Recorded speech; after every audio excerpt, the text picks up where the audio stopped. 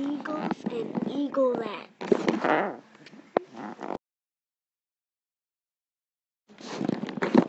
These are eaglets.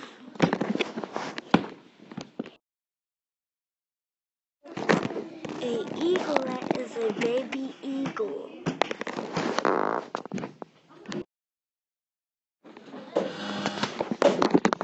When eaglets get bigger, they they can see really well, and when they're small, they can't see really well.